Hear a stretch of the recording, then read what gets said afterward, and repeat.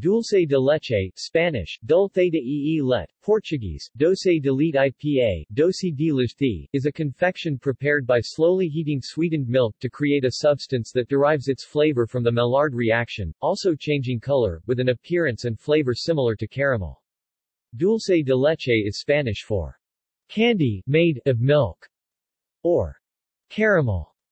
It is very popular in many South American countries. Regional variants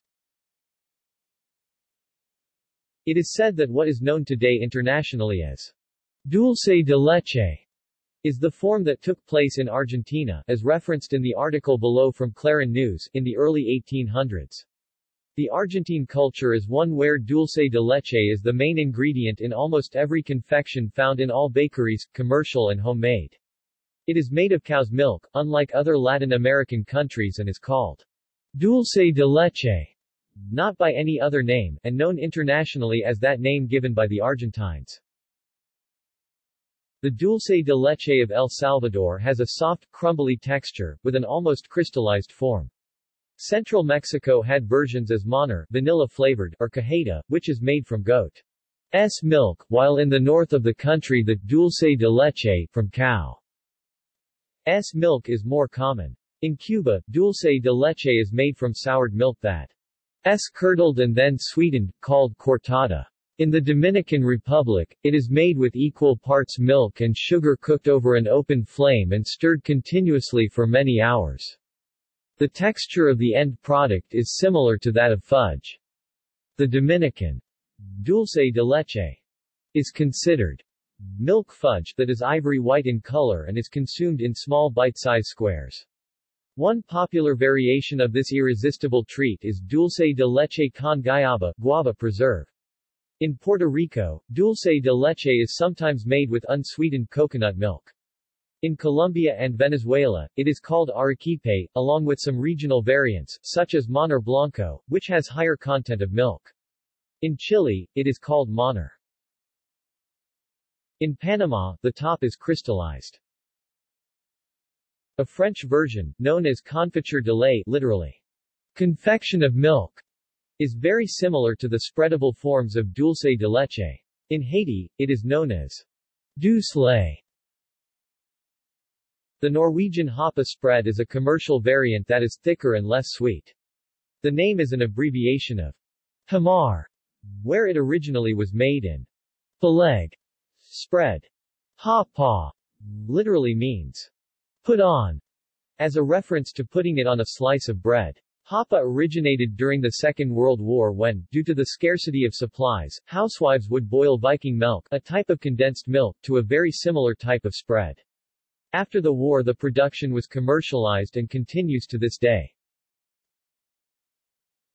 In Russia and Ukraine, the same preparation, traditionally made by boiling cans of condensed milk in water bath for several hours is known as Boiled condensed milk. Varanagusenka. In Russian. Varine Zagasin. Iriska. In Ukrainian, as long as condensed milk is known there, and was, and still is, a mainstay of home confectionaires and sweet fillings. In Soviet times there was some commercial production, but at a scale insufficient to meet a demand, so most households returned to traditional at-home preparation. Since the fall of the USSR the spread, though often imitated by various starch-based concoctions, exploded in popularity and is widely commercially produced both in conform and as an ingredient and default filling in various sweets. A Polish version, called kajmak, is known from the 18th century. It was inspired by kajmak, and it is used to cover some cakes, like mazurek or wafer. South Africans call it caramel treat in South Africa, it is served as fudge, or used as an ingredient in baked confectionaries, cakes and tarts. Preparation and uses The most basic recipe calls for slowly simmering milk and sugar, stirring almost constantly, although other ingredients such as vanilla may be added for flavor. Much of the water in the milk evaporates and the mix thickens, the resulting dulce de leche is usually about a sixth of the volume of the milk used. The transformation that occurs in preparation is caused by a combination of two common browning reactions called caramelization and the Maillard reaction.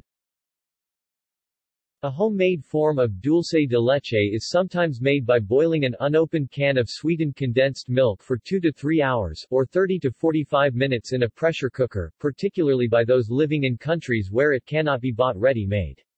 This results in a product that is much sweeter than the slow-boiled kind.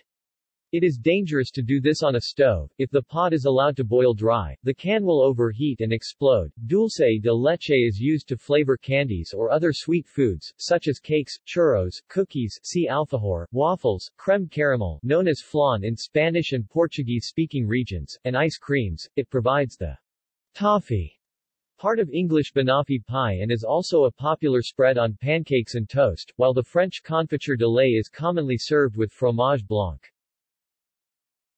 A solid candy made from dulce de leche, similar to the Polish krówka and named Vaquita, Little Cow, was manufactured by the Mu-Mu factory in Argentina until the company went out of business in 1984. Subsequently, other brands began to manufacture similar candies, giving them names such as Vaquita and Bacarita in an effort to link their products to the original. In the Midwestern United States in the 1950s a version of dulce de leche called sticky dessert used carnation sweetened condensed milk. See also. References. External links. Homemade dulce de leche recipe Todo dulce de leche, in Spanish